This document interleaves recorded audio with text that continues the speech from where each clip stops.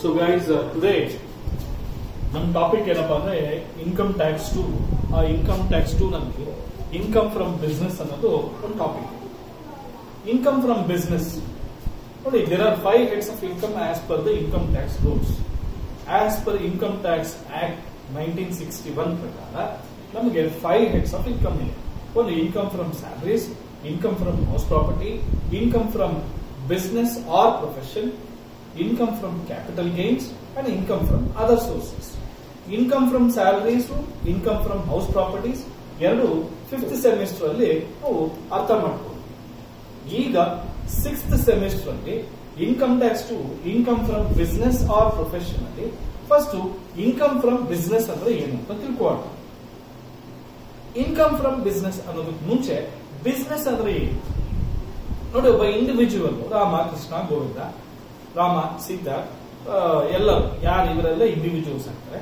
ಈ ಇಂಡಿವಿಜುವಲ್ಸ್ ಏನಾದ್ರು ಬಿಸ್ನೆಸ್ ಮಾಡ್ತಾ ಇತ್ತು ಆ ಬಿಸ್ನೆಸ್ನಲ್ಲಿ ಬಂದಿರತಕ್ಕಂಥ ಪ್ರಾಫಿಟ್ ಏನ್ ಬರುತ್ತೆ? ಆ ಪ್ರಾಫಿಟ್ ಮೇಲೆ ಪ್ರತಿಯೊಬ್ಬರು ಪ್ರತಿಯೊಬ್ಬ ಬಿಸ್ನೆಸ್ ಮ್ಯಾನ್ ಟ್ಯಾಕ್ಸ್ ಅನ್ನ ಕಟ್ಟಬೇಕಾಗುತ್ತೆ ಈಗ ಪ್ರಾಫಿಟ್ ಜಾಸ್ತಿ ಬಂದಾಗ ಟ್ಯಾಕ್ಸ್ ಅನ್ನ ಜಾಸ್ತಿ ಕಟ್ಟಬೇಕಾಗುತ್ತೆ ಪ್ರಾಫಿಟ್ ಕಡಿಮೆ ಬಂದಾಗ ಕಡಿಮೆ ಟ್ಯಾಕ್ಸ್ ಅನ್ನ ಕಟ್ಟಬೇಕಾಗುತ್ತೆ ಇಲ್ಲಿ ಪ್ರಾಬ್ಲಮ್ ಏನು ಅಂತ ಹೇಳಿದ್ರೆ ಪ್ರಾಫಿಟ್ ಜಾಸ್ತಿ ಬಂದಾಗ ಜಾಸ್ತಿ ಕಟ್ಟಬೇಕು ಯಾಕೆ ಜಾಸ್ತಿ ಕಟ್ಟಬೇಕು ಅನ್ನೋ ಕ್ವಶನ್ ಕೆಲವು ಬಿಸ್ನೆಸ್ ಪೀಪಲ್ ಬರುತ್ತೆ. ಹಾಗಾದ್ರೆ ಏನ್ business what is the meaning of business say business is nothing but purchase and sale purchase and sale or manufacture of any goods or any services with an motive of earning profit is called as a business ಯಾವುದೇ ವಸ್ತುಗಳನ್ನ purchase ಮಾಡಿ sale ಮಾಡೋದು ಅಥವಾ manufacture ಮಾಡಿ sale ಮಾಡತಕ್ಕಂಥದ್ದು profit ಉದ್ದೇಶಕ್ಕೋಸ್ಕರ ಮಾಡಿದ್ರೆ ಅದನ್ನ ನಾವು ಬಿಸ್ನೆಸ್ ಅಂತ ಹೇಳ್ತೀವಿ. ಇಲ್ಲಿ ಯಾವುದೇ ಕಾರಣಕ್ಕೂ ಚಾರಿಟಿ ಮಾಡಲ್ಲ. ಅಂದ್ರೆ ದಾನ ಧರ್ಮಕ್ಕೆ ಅಂತ ಬಿಸ್ನೆಸ್ ಮಾಡೋದಲ್ಲ.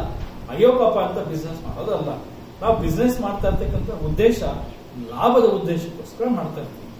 ಆ ಲಾಭದ ಉದ್ದೇಶಕ್ಕೆ ಯಾವುದಾದ್ರೂ ವಸ್ತುಗಳನ್ನ ಪರ್ಚೇಸ್ ಮಾಡಿ ಆ ವಸ್ತುಗಳನ್ನ ಲಾಭಕ್ಕೆ ಮಾರಾಟ ಮಾಡೋದನ್ನೇ ನಾವು ವ್ಯಾಪಾರ ಅಥವಾ ಬಿಸ್ನೆಸ್ ಅಂತ ಕರಿತೀವಿ. ಇಲ್ಲಿ ಫಸ್ಟ್ ಬಿಸ್ನೆಸ್ ಅಂದ್ರೆ ಏನು ಅಂತ ಗೊತ್ತಾಯ್ತು? ಎರಡನೇ ಪಾಯಿಂಟ್ ಏನಪ್ಪಾ? ಜಾಸ್ತಿ ಲಾಭ ಬಂದಾಗ ಜಾಸ್ತಿ ಟ್ಯಾಕ್ಸ್ ಕಟ್ಟಬೇಕು ಇಲ್ಲಿ ಯಾವ ಬಿಸ್ನೆಸ್ ಮ್ಯಾನ್ಗೂ ಕೂಡ ಜಾಸ್ತಿ ಟ್ಯಾಕ್ಸ್ ಕಟ್ಟೋದಕ್ಕೆ ಇಷ್ಟ ಆಗೋದಿಲ್ಲ. ಇಷ್ಟ ಇರೋದಿಲ್ಲ. ಇಷ್ಟ ಬರೋದೂ ಇಲ್ಲ. ಯಾರು ವಾಲಂಟಿಯರ್ ಕಟ್ಟೋದು ಇಲ್ಲ. ಆಗ ಅವ್ರೇನ್ ಮಾಡ್ತಾರೆ? ಆದಷ್ಟು ಪ್ರಾಫಿಟ್ ಅನ್ನ ಕಡಿಮೆ ತೋರಿಸ್ತಾರೆ ಸರ್ ಪ್ರಾಫಿಟ್ ಕಡಿಮೆ ತೋರಿಸಿದ್ರೆ ಟ್ಯಾಕ್ಸ್ ಹೆಂಗ್ ಸರ್ ಕಡಿಮೆ ಆಗುತ್ತೆ? ಪ್ರಾಫಿಟ್ ಕಡಿಮೆ ಆದ್ರೆ ಟ್ಯಾಕ್ಸ್ ಕಡಿಮೆ ಆಗುತ್ತೆ. ಹಾಗಾದ್ರೆ ಈಗ ಯಾವ್ಯಾವ ಒಂದು ದಾರಿಗಳಲ್ಲಿ ಪ್ರಾಫಿಟ್ ಅನ್ನ ಕಡಿಮೆ ತೋರಿಸೋದಕ್ಕೆ ಸಾಧ್ಯ ಆಗುತ್ತೆ? ನೋಡೋಣ. ಇಲ್ಲಿ ಒಂದು ಪ್ರಾಫಿಟ್ ಅಂಡ್ ಲಾಸ್ ಅಕೌಂಟ್ ಕೊಟ್ಟಿದ್ದೀನಿ. ನಮಗೆ ಈ ಪ್ರಾಫಿಟ್ ಅಂಡ್ ಲಾಸ್ ಅಕೌಂಟ್ ಬೇಡ. ಇಲ್ಲಿ ಬರೆಯುವಂತ ಪ್ರಾಫಿಟ್ ಅಂಡ್ ಲಾಸ್ ಅಕೌಂಟ್ ಹೇಳ್ಕೊಡ್ತೀನಿ. ನೋಡಿ, ಈ ಪ್ರಾಫಿಟ್ ಅಂಡ್ ಲಾಸ್ ಅಕೌಂಟ್ನಲ್ಲಿ ಡೆಬಿಟ್ ಸೈಡ್ ಅಲ್ಲಿ ಬರ್ತಕ್ಕಂಥವೆಲ್ಲ ಎಕ್ಸ್ಪೆನ್ಸಸ್ ಆಗಿರುತ್ತೆ. ಕ್ರೆಡಿಟ್ ಸೈಡ್ ಅಲ್ಲಿ ಬರ್ತಕ್ಕಂಥವೆಲ್ಲ ಇನ್ಕಮ್ಸ್ ಆಗಿರುತ್ತೆ. ಸೊ ಈ ಎಕ್ಸ್ಪೆನ್ಸಸ್ ಇನ್ಕಮ್ಸ್ ಏನಿದೆ? ಇನ್ಕಮ್ಸ್ ಜಾಸ್ತಿ ಇದ್ರೆ ಎಕ್ಸ್ಪೆನ್ಸಸ್ ಬಿದ್ದು ನಮಗೆ ನೆಟ್ ಪ್ರಾಫಿಟ್ ಅಥವಾ ಲಾಭ ಬರುತ್ತೆ ಪ್ರಾಫಿಟ್ ಬರುತ್ತೆ. ಎಕ್ಸ್ಪೆನ್ಸಸ್ ಜಾಸ್ತಿ ಇದ್ರೆ ಇನ್ಕಮ್ ಇತ್ತು ಲಾಸ್ ಆಗುತ್ತೆ. ಹೌದೋ ಇಲ್ಲ ಈಗ ನಮ್ಗೆ ಪ್ರಾಫಿಟ್ ಬಂದಿದೆ ನೆಟ್ ಪ್ರಾಫಿಟ್ ಬಂದಿದೆ ಅಂತ ಅನ್ಕೋಣ ಪ್ರಾಫಿಟ್ ಜಾಸ್ತಿ ಬಂದಿದೆ ಅಥವಾ ಪ್ರಾಫಿಟ್ ಬಂದಿದೆ. ಪ್ರಾಫಿಟ್ ಬಂದಿದ್ರೆ ಅದ್ರ ಮೇಲೆ ಟ್ಯಾಕ್ಸ್ ಕಟ್ಟು ಅಂತ ಗವರ್ಮೆಂಟ್ ಹೇಳುತ್ತೆ.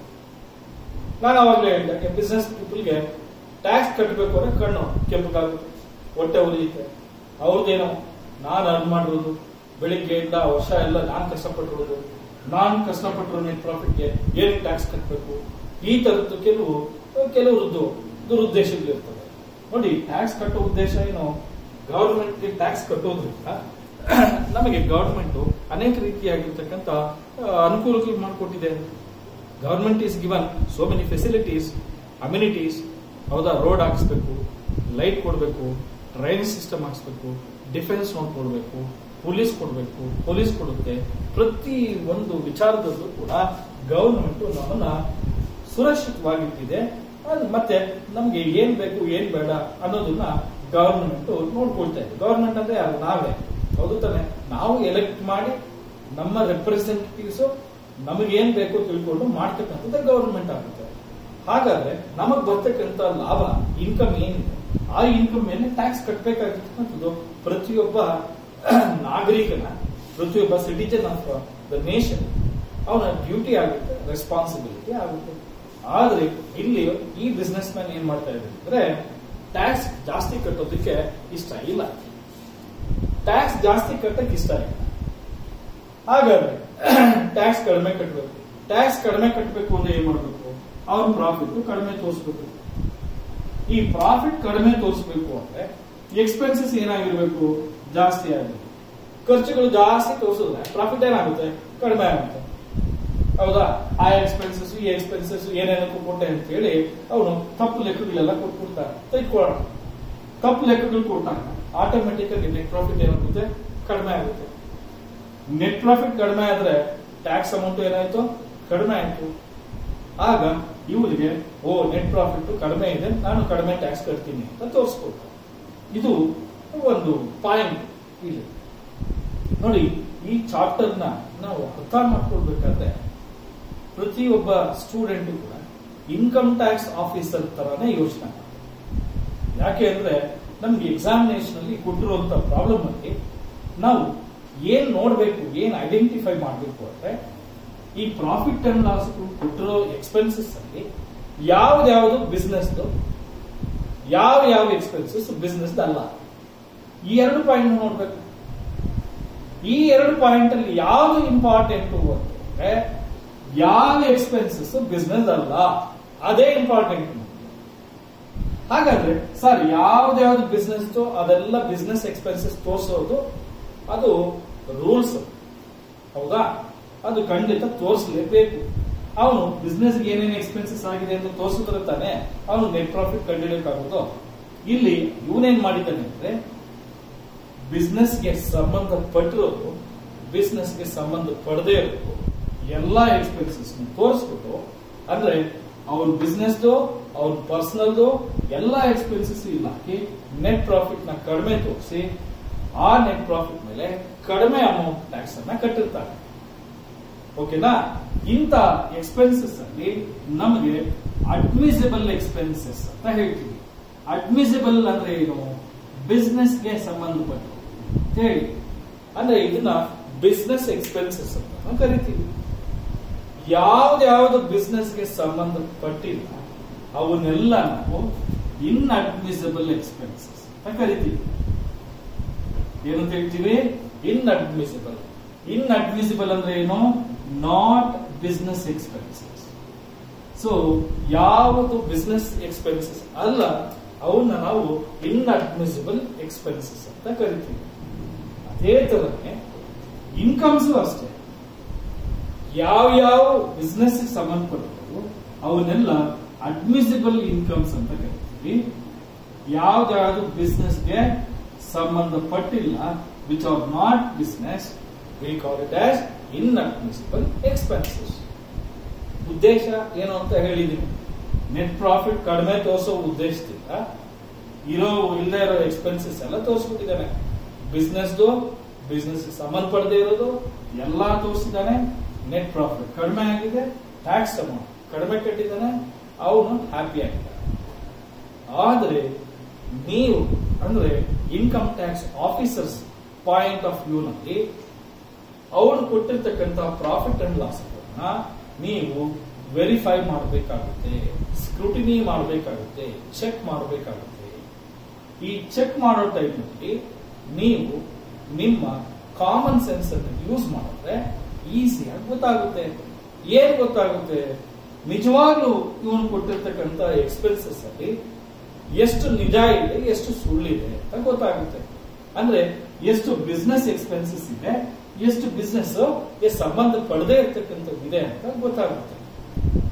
ಈ ಇದಕ್ಕೋಸ್ಕರನೇ income tax act of nineteen sixty one ಏನಿದೆ ಒಂದಷ್ಟು ಎಕ್ಸ್ಪೆನ್ಸಸ್ನ ಇನ್ಅಡ್ಮಿಸಿಬಲ್ ಅಂತ ಕರೆದಿದೆ ಏನಂತ ಕರೆದಿದೆ ಇನ್ಅಡ್ಮಿಸಿಬಲ್ ನಾನು ಈ ಬೋರ್ಡ್ ಅಲ್ಲಿ ಪ್ರಾಫಿಟ್ ಅಂಡ್ ಲಾಸ್ ಅಕೌಂಟ್ ಅಂತ ಸುಮಾರು ಒಂದು ಹತ್ತರಿಂದ ಹದಿನೈದು ಐಟಮ್ ಕೊಟ್ಟಿದ್ದೀನಿ. ಇಷ್ಟು ಎಕ್ಸ್ಪೆನ್ಸಸ್ ಕೂಡ ಏನಾಗಿದೆ? ಇನ್ಅಡ್ಮಿಸಿಬಲ್ ಎಕ್ಸ್ಪೆನ್ಸಸ್ ಆಗುತ್ತೆ ಅಂತ ಹೇಳ್ತಾ ಇದ್ದಾರೆ. ಏನಾಗುತ್ತಂತೆ? ಇನ್ಅಡ್ಮಿಸಿಬಲ್ ಆಗುತ್ತೆ ಅಂತ ಹೇಳ್ತಾರೆ ಹಾಗೆ ಇಷ್ಟು ಇನ್ಕಮ್ಸ್ ಕೂಡ ಇನ್ಅಡ್ಮಿಸಿಬಲ್ ಇನ್ಕಮ್ಸ್ ಅಂತ ಕರೀತಾರೆ. ಈಗ ಯಾಕೆ ಇವು ಇನ್ಅಡ್ಮಿಸಿಬಲ್ ಅಂತ ತಿಳ್ಕೊಟ್ರೆ ಇಷ್ಟು ಐಟಮ್ಸ್ನ ತಿಳ್ಕೊಂಡ್ರೆ, ಒಂದು ನೈಂಟಿ ಪರ್ಸೆಂಟ್ ಅಷ್ಟು ಇನ್ಕಮ್ ಫ್ರಮ್ ಬಿಸ್ನೆಸ್ ಪ್ರಾಬ್ಲಮ್ನ ನೀವು ನಿಜವಾಗ್ಲೂ ಹೇಳ್ತಾ ಇದ್ದೀನಿ ಈಸಿಯಾಗಿ ಸಾಲ್ವ್ ಮಾಡಬಹುದು ಈಗ ಒಂದೊಂದೇ ಪಾಯಿಂಟ್ ತಗೊಳ್ಳೋಣ ಪ್ರಾವಿಷನ್ ಫಾರ್ ಡಿಪ್ರಿಸಿಯೇಷನ್ ಅಥವಾ ಪ್ರಾವಿಷನ್ ಫಾರ್ ಬ್ಯಾಡ್ ಡೆಟ್ಸ್ ಅಂತ ಹೇಳೋಣ. ಫಸ್ಟ್ ಬ್ಯಾಡ್ ಡೆಟ್ಸ್ ತಗೊಳ್ಳೋಣ ಪ್ರಾವಿಷನ್ ಅಂತ ಹೇಳ್ತೇವೆ ನೋಡಿ ಬ್ಯಾಡ್ ಡೆಟ್ಸ್ ಅಂತ ಕೊಟ್ಟಿದ್ರೆ ಅದು ಬಿಸ್ನೆಸ್ ಸರ್ ಬ್ಯಾಡ್ ಡೆಟ್ಸ್ ಹೆಂಗ್ ಸರ್ ಬಿಸ್ನೆಸ್ ಆಗುತ್ತೆ? ನೋಡಿ ವೆರಿ ಸಿಂಪಲ್ ಆಗಿದೆ. ನಾನು ಬಿಸ್ನೆಸ್ ಮಾಡ್ತಾ ಇದ್ದೀನಿ ಅಂದ್ರೆ, ಖಂಡಿತ ನನಗೆ ಕಸ್ಟಮರ್ಸ್ ಒಳ್ಳೆಯದಿರೋ ಕಸ್ಟಮರ್ಸ್ ಇರ್ತಾರೆ. ಅಂದ್ರೆ ಪ್ರಾಂಪ್ಟ್ ಆಗಿರೋ ಕಸ್ಟಮರ್ಸ್ ಇರ್ತಾರೆ. ಮತ್ತೆ ಮೋಸ ಮಾಡ್ತಕ್ಕಂಥ ಕಸ್ಟಮರ್ಸ್ ಇರ್ತಾರೆ. ನೂರು ಜನದಲ್ಲಿ ಒಬ್ಬನೋ ಇಬ್ನೋ ಕೆಟ್ಟವನು ಇದ್ದೇ ಇರ್ತಾರೆ ಕೊಡ್ದಂಗೆ ಓಡುತ್ತಾನೆ. ಆಗ ಬ್ಯಾಡ್ ಡೇಟ್ಸ್ ಏನಾದ್ರು ಬಿಸ್ನೆಸ್ ಆದ್ರೆ, ಕೊಡ್ದಂಗೆ ಯಾರಾದ್ರೂ ಓಡೋಗ್ಬಿಟ್ರೆ, ನಾವು ಅದನ್ನ ಬಿಸ್ನೆಸ್ನಲ್ಲಿ ಬ್ಯಾಡ್ ಡೇಟ್ಸ್ ಅಂತ ಬಿಸ್ನೆಸ್ನಲ್ಲಿ ತೋರಿಸ್ಕೊಡ್ಬೋದು ಅದು ಕಾನೂನೇ ನಮ್ಗೆ ಹೇಳಿದೆ. ಯಾಕೆಂದ್ರೆ ಬಿಸ್ನೆಸ್ ನಾರ್ಮಲ್ ಕೋರ್ಸ್ ಆಫ್ ಬಿಸ್ನೆಸ್ನಲ್ಲಿ ಇದು ಸರ್ವೇ ಸಾಧಾರಣ ಆಗಿರೋದ್ರಿಂದ ಬ್ಯಾಡ್ ಡೇಟ್ಸ್ನ ನಾನು ಏನಂತ ಹೇಳ್ತೀನಿ? ಅಡ್ಮಿಸಬಲ್ ಬಿಸ್ನೆಸ್ ಎಕ್ಸ್ಪೆನ್ಸಸ್ ಅಂತ ಕರಿತೀನಿ. ಆದ್ರೆ ಪ್ರಾವಿಷನ್ ಫಾರ್ ಬ್ಯಾಡ್ ಡೇಟ್ಸ್ ಅಂತ ಹೇಳಿದ್ರೆ ನಾಳೆ ಯಾವನೋ ಕೊಡ್ದಂಗೆ ಓಡೋಗ್ಬಿಡ್ತಾನೆ ಅಂತ ಹೇಳ್ಬಿಟ್ಟು ಇವತ್ತೇ ನನ್ಗೆ ಹತ್ತು ಸಾವಿರ ರೂಪಾಯಿ ನಾಳೆ ಯಾವನೋ ಒಬ್ಬನ ಕಸ್ಟಮರ್ ಕೊಡ್ದಂಗೆ ಓಡೋಗ್ತಾನೆ ಅಂತ ಹೇಳಿ ಅದು ಬ್ಯಾಡ್ ಡೆಟ್ಸ್ ಆಗಬಹುದು ಅಂತ ಹೇಳಿ ತೋರಿಸ್ಕೊಳ್ಳಾಗಿಲ್ಲ ಪ್ರಾವಿಷನ್ ಅಂದ್ರೆ ಏನು? ಮುಂದಕ್ಕೆ ಲಾಸ್ ಆಗುತ್ತೆ, ಅದಕ್ಕೆ ಆ ಲಾಸ್ ಇವತ್ತೇ ಈ ವರ್ಷದ ಪ್ರಾಫಿಟ್ ಅಲ್ಲೇ ಮೈನಸ್ ಮಾಡ್ಕೊತಾ ಇದೀನಿ ಅಂತ ಅರ್ಥ. ಕ್ಲಿಯರಾ ಸೊ ಅಂತ ಪ್ರಾವಿಷನ್ ಅನ್ನೋ ವರ್ಡ್ ಇದ್ರೆ ರಿಸರ್ವ್ ಫಾರ್ ಬ್ಯಾಡ್ ಡೆಟ್ಸ್ ಅನ್ನೋ ಒಂದು ಇದ್ರೆ ಅದನ್ನ ಏನ್ ಮಾಡಬೇಕು? ಇನ್ಅಡ್ಮಿಸಿಬಲ್ ಎಕ್ಸ್ಪೆನ್ಸಸ್ ಅಂತ ಕರಿಬೇಕು. ಕ್ಲಿಯರಾ ಏನೇನು ಮಾಡೋದು? ಪ್ರಾವಿಷನ್ ಅಥವಾ ರಿಸರ್ವ್ ಫಾರ್ ಬ್ಯಾಡ್ ಡೆಟ್ಸ್ ಅಥವಾ ರಿಸರ್ವ್ ಫಾರ್ ಫ್ಯೂಚರ್ ಲಾಸಸ್ ಅಂತ ಏನಾದ್ರು ಇದ್ರೆ ಅದನ್ನ ಯಾವಾಗಲೂ ಏನ್ ಮಾಡಬೇಕು? ಇನ್ಅಡ್ಮಿಸಿಬಲ್ ಅಂತ ಮಾಡಬೇಕು. ಕ್ಲಿಯರಾ ನೆಕ್ಸ್ಟ್ ಇನ್ಕಮ್ ಟ್ಯಾಕ್ಸ್ ನೋಡಿ ಇನ್ಕಮ್ ಟ್ಯಾಕ್ಸ್ ಅಂದ್ರೆ ಏನು? ನೀವು ಗಳಿಸಿರ್ತಕ್ಕಂಥ ಆದಾಯದ ಮೇಲೆ ಕಟ್ಟಿರ್ತಕ್ಕಂಥ ತೆರಿಗೆ. ಅಂದ್ರೆ whatever the income you earn you pay taxes on it ಹೌದಾ? ಆ ಇನ್ಕಮ್ ಟ್ಯಾಕ್ಸ್ ಏನಕ್ಕೆ ಗವರ್ಮೆಂಟ್ ಹಾಕುತ್ತೆ ನಿಮಗೆ ಫೆಸಿಲಿಟೀಸ್ ಕೊಡಬೇಕು. ಹೌದು ತಾನೆ? ರೋಡ್ ಹಾಕ್ಸ್ಬೇಕು ಲೈಟ್ ಬೇಕು, ಇದೇ ಬೇಕು. ಹೌದಾ? ಡ್ರೈನೇಜ್ ಸಿಸ್ಟಮ್ ಬೇಕು, ಪೊಲೀಸ್ ಬೇಕು, ಡಿಫೆನ್ಸ್ ಬೇಕು, ಸಬ್ಸಿಡೀಸ್ ಬೇಕು.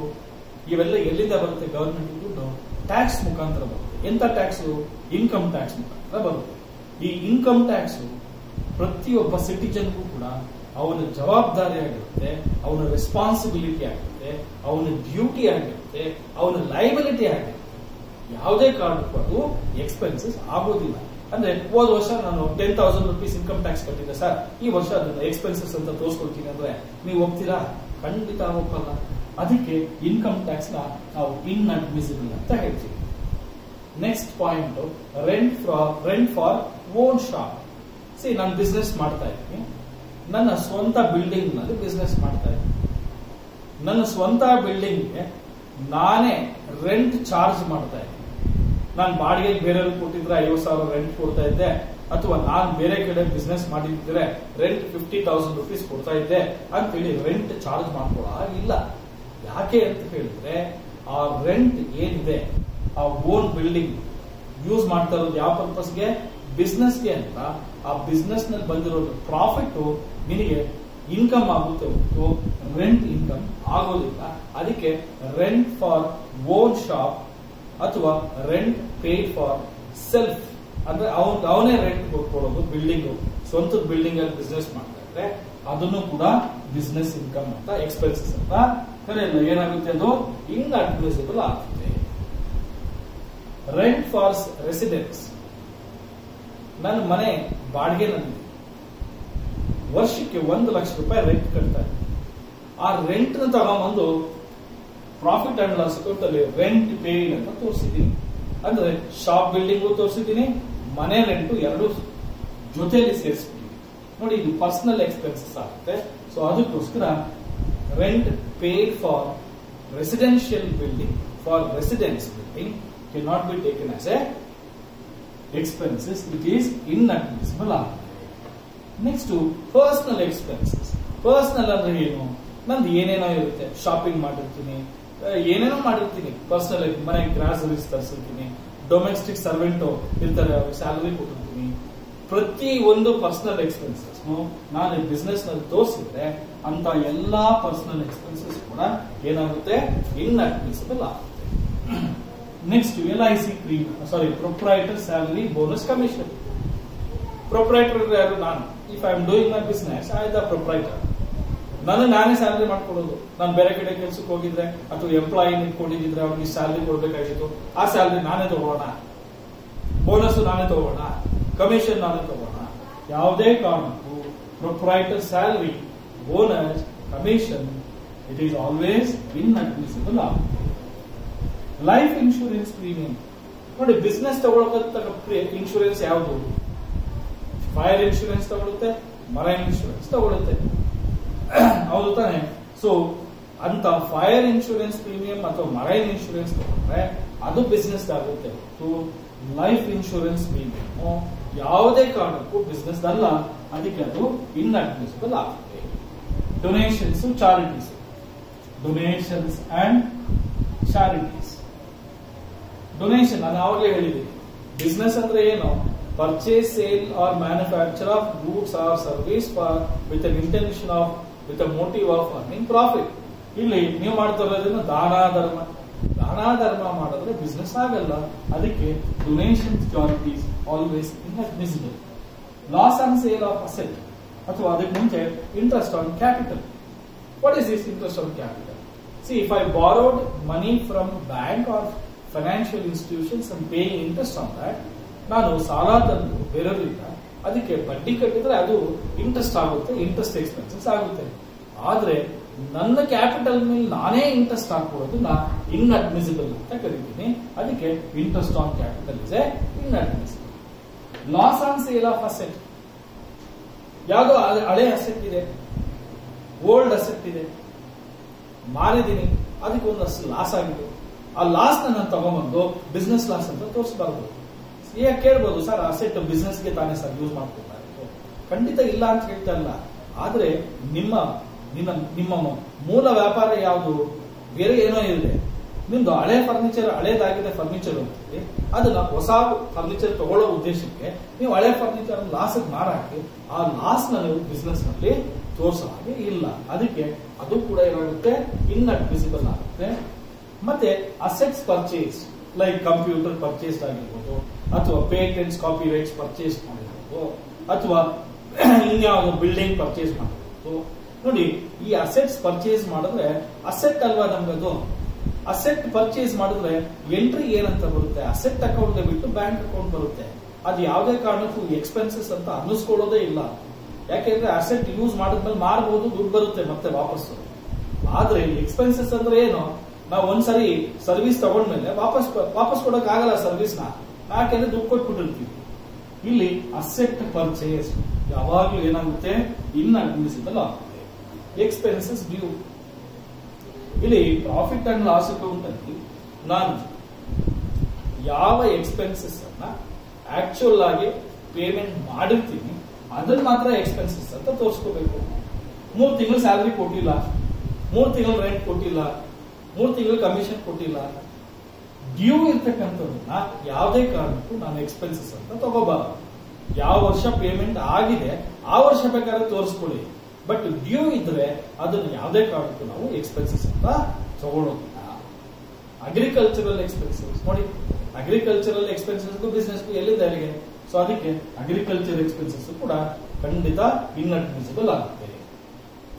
Expenses of other head of heads of income ಬೇರೆ ಹೆಡ್ಸ್ ಆಫ್ ಇನ್ಕಮ್ದು ಈ ಇಲ್ಲಿ ತಗೊಂಡ್ಬಂದು ತೋರಿಸೋದು. ಅಂದ್ರೆ ಇನ್ಕಮ್ ಫ್ರಮ್ ಸ್ಯಾಲ್ರಿನೋ ಇನ್ಕಮ್ ಫ್ರಮ್ ಹೌಸ್ ಪ್ರಾಪರ್ಟಿಗೋ ಅಥವಾ ಇನ್ನೊಂದು ಮತ್ತೊಂದು ಏನಾದರೂ, ಯಾವ್ದಾದ್ರು ಬೇರೆ ಹೆಡ್ ಬಿಸ್ನೆಸ್ ಬಿಟ್ಟು ಬೇರೆ ಯಾವುದೇ ಹೆಡ್ ಆಫ್ ಇನ್ಕಮ್ ಅಲ್ಲಿ ನೀವು ಎಕ್ಸ್ಪೆನ್ಸಸ್ ಏನಾದರೂ ಇದ್ರೆ, ಆ ಎಕ್ಸ್ಪೆನ್ಸಸ್ನ ಇನ್ಕಮ್ ಫ್ರಮ್ ಬಿಸ್ನೆಸ್ ಅಲ್ಲಿ ಪ್ರಾಫಿಟ್ ಅಂಡ್ ಲಾಸ್ ಅಕೌಂಟ್ ಅಲ್ಲಿ ತೋರಿಸಿದ್ರೆ, ಅಂತ ಎಲ್ಲಾ expenses other heads of income ಅಲ್ಲಿ ಬಂದಿರುವ ಇನ್ಅಡ್ಮಿಸಬಲ್ ಆಗುತ್ತೆ. ಅದಕ್ಕೆ ಒಳ್ಳೆ ಉದಾಹರಣೆ ಅಂದ್ರೆ, ಮನೆ ಬಾಡಿಗೆ ಕೊಟ್ಟಿದ್ರೆ, ಅದಕ್ಕೆ ಮುನ್ಸಿಪಲ್ ಟ್ಯಾಕ್ಸಸ್ ಕಟ್ಟಿದ್ದೀರಾ ಗವರ್ಮೆಂಟ್ಗೆ ಆ ಮುನ್ಸಿಪಲ್ ಟ್ಯಾಕ್ಸಸ್ ತಗೊಂಡ್ಬಂದು ಪ್ರಾಫಿಟ್ ಅಂಡ್ ಲಾಸ್ ಅಲ್ಲಿ ಬಿಸ್ನೆಸ್ ಪ್ರಾಫಿಟ್ ಅಂಡ್ ಲಾಸ್ ಅಲ್ಲಿ ಹಾಕಿದ್ರೆ ಅದು ಖಂಡಿತ ಯಾವುದೇ ಕಾರಣಕ್ಕೂ ಏನಾಗಲ್ಲ, ಅದು ಇನ್ಕಮ್ ಫ್ರಮ್ ಬಿಸ್ನೆಸ್ ಆಗಲ್ಲ.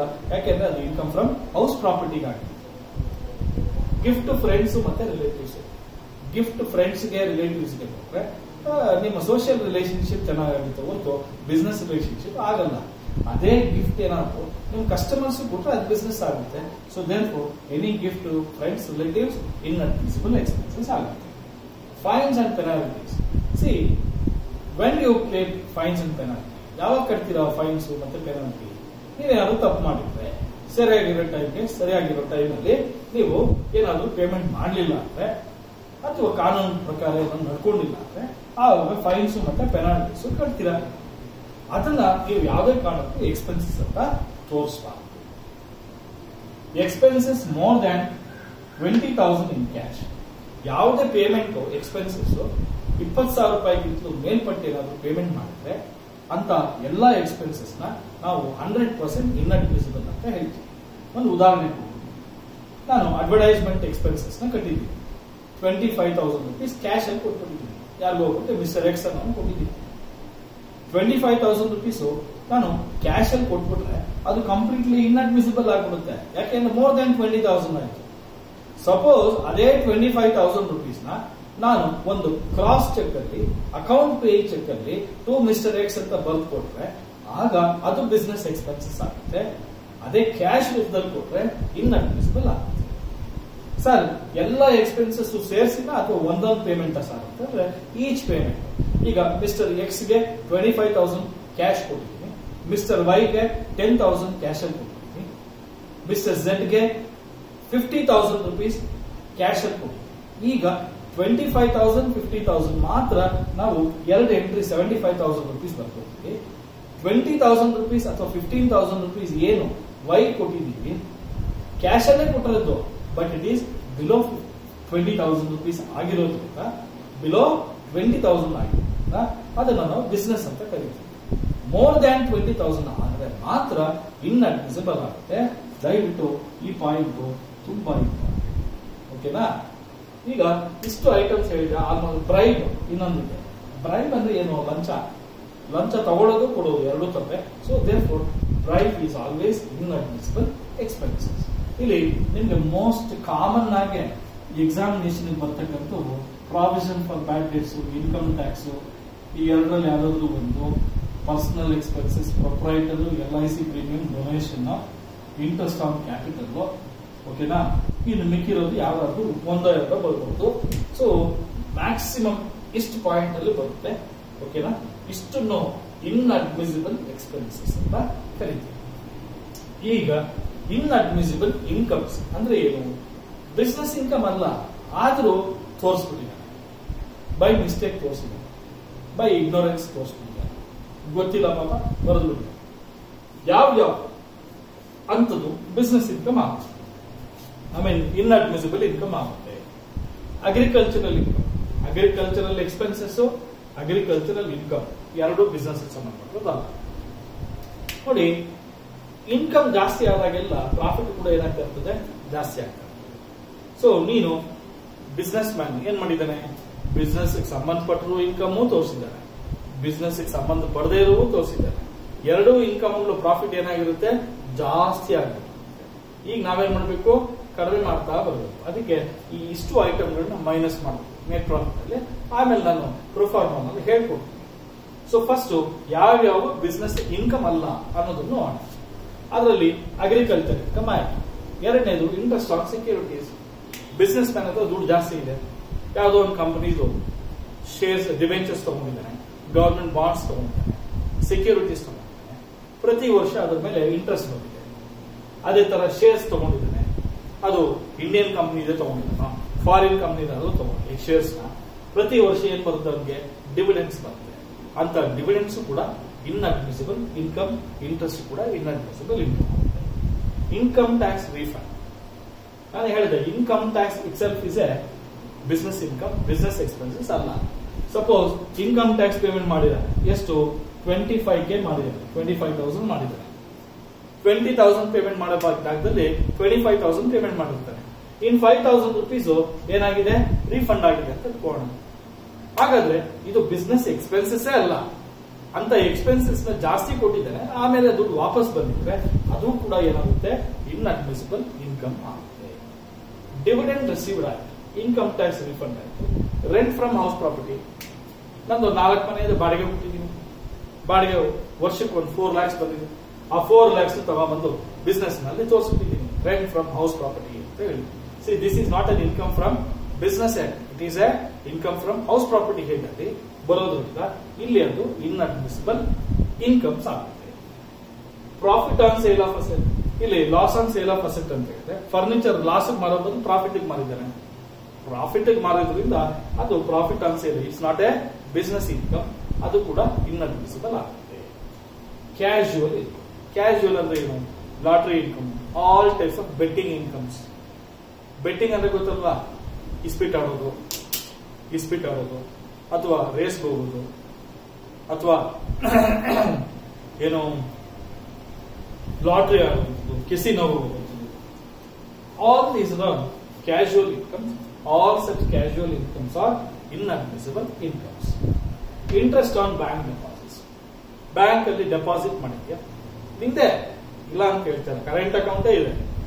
ಬಿಸ್ನೆಸ್ ಅಕೌಂಟೇ ಇದೆ. ಆದ್ರೆ ನಿನಗೆ ಒಂದಷ್ಟು ಅಮೌಂಟ್ ಇಂಟ್ರೆಸ್ಟ್ ಬಂದಿದೆ. It is not your business income so therefore all these interest incomes dividends incomes casual incomes profit on sale of asset income tax refund income from other source of income that is other heads of income ಇಷ್ಟು ಕೂಡ ಏನಾಗುತ್ತೆ? Inadmissible ಕ್ಲಿಯರಾ ಈಗ ಇಷ್ಟು ನೀವು ದಯವಿಟ್ಟು ಜ್ಞಾಪಕ ಇಟ್ಕೊಳ್ಬೇಕು. ಇಷ್ಟು ಬಿಟ್ಟು ಇಲ್ಲ, ಬೇಕಾದಷ್ಟು ಇದಾವೆ. ಬಟ್ ಮೇನ್ ಮೇನ್ ಐಟಮ್ಸ್ ಇವು. ಇಷ್ಟು ನೀವು ಕ್ಲೀನ್ ಆಗಿ ಜ್ಞಾಪಕ ಇಟ್ಕೊಂಡ್ರೆ we can able to solve some of the questions in some question papers ಓಕೆನಾ ಓಕೆ ಗೈಸ್ ದಯವಿಟ್ಟು ಈ ಟಾಪಿಕ್ ನಿಮ್ಗೆ ಅರ್ಥ ಆಗಿದೆ ಅಂತ ಅನ್ಕೊಂಡಿದ್ದೀನಿ. ಅರ್ಥ ಆಗಿದ್ರೆ ಸಾಯಿ ಸ್ಟಡಿ ಸರ್ಕಲ್ ಚಾನಲ್ನ ಸಬ್ಸ್ಕ್ರೈಬ್ ಮಾಡಿ ಶೇರ್ ಮಾಡಿ ಈ ವಿಡಿಯೋಸ್ನ ಯಾಕೆಂದ್ರೆ ಎಲ್ಲ ಕ್ವಾರಂಟೈನ್ ಇದ್ದರೆ ಮನೆಯಲ್ಲೇ ಎಕ್ಸಾಮ್ ಹತ್ರ ಬರ್ತಾ ಇದೆ. ಚೆನ್ನಾಗಿ ಓದ್ಕೊಳ್ಳಿ. ಓಕೆನಾ ಸೊ ಅದಕ್ಕೆ ಫಾರ್ವರ್ಡ್ ಮಾಡಿ, ಎಲ್ಲರಿಗೂ ಫಾರ್ವರ್ಡ್ ಮಾಡಿ ಶೇರ್ ಮಾಡಿ ಫ್ರೆಂಡ್ಸ್ ಥ್ಯಾಂಕ್ ಯು